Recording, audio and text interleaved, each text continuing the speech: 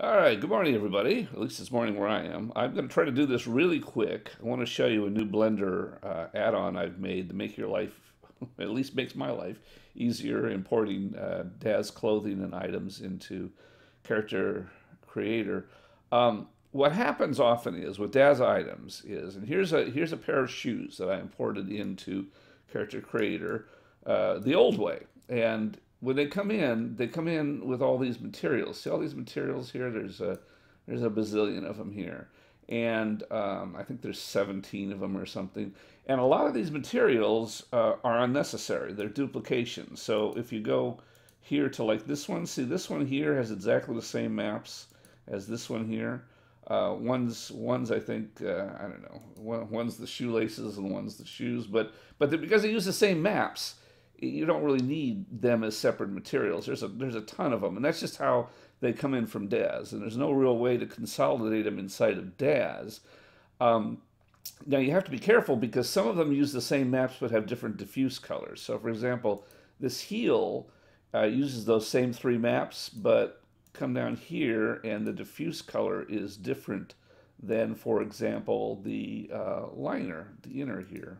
Actually, I want to go liner, the liner here go to the liner and you can see, uh, I don't know if you could tell, but this diffuse is definitely different from, from the heel. So, so you want to you want to preserve the ones that have the the same maps but different diffuse colors, but you also don't want uh, the diffuse colors and, and, the same maps and to give you all these different materials. So I wrote a little routine in Blender that does that. It consolidates it. So here we are with those shoes. Actually, let me let me load these in again. I want to do the whole process here for a moment.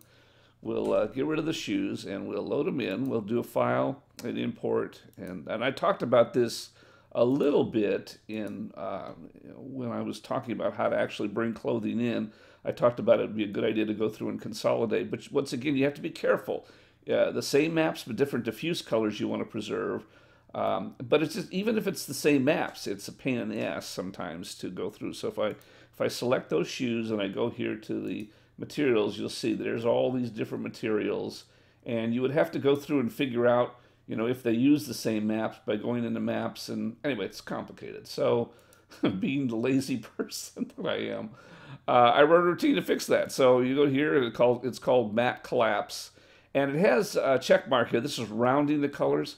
Uh, I, I did that because in these particular shoes, they used a lot of different shades of brown that were so close that I just didn't want to deal with all of them. So if you don't want the colors to be rounded off, if you want to be absolutely precise, you can take that checkbox off. Otherwise, leave that checkbox on, and then this will collapse the materials really quickly. And here it ends up now you only have five materials, which is a lot better than 17, and you don't have to do anything. And so when we actually export that, I'm going to go back and show you the difference here. So, so we got all these different materials here. So we're going to go and we're going to create uh, a new thing with the these brown shoes very quickly. This thing, these cooking shows. I've already I've already cooked this. so, uh, but I'll show you how. So, by collapsing those materials that we did, it's a whole lot easier to deal with these shoes now. Now, when we're going to deal with the shoes, we only have these five, and so you go in here. And first thing you have to do is you always have to reduce the bump maps. Uh, well, actually, first thing you have to do is, is change it to PBR. Almost always want to change things to PBR. The only possible exceptions are glass type materials, uh, some chrome stuff that you might reflect. Okay, so anyway, so now PBR. So now we want to reduce the bump maps, and you'll see as we reduce the bump maps. Oh, this is the heel, so it's on the heel. And then notice when the bump's up really high, it just blows everything out. So you have to reduce it. And also, I don't this is another one of those ones that uses a base color, but then it also uses a diffuse color. And see, it's kind of greeny, so I kind of want to move it over to the red a little bit more. That's a better brown. Actually, I could I could move it over a little bit, even a little bit more to the red. That's a better brown. Um, so that's that's that one. And then this is the uh, eyelets. So you see those eyelets, and they're not the right color at all because once again, this is PBR, and it doesn't convert it to PBR very well. They're actually brass eyelets. So we go there and then we bump up the uh, brightness to, because it's metal, so we want it to be metal. You can already tell it's starting to take on metal characteristics and then we shiny it up and there it is. We got our brass.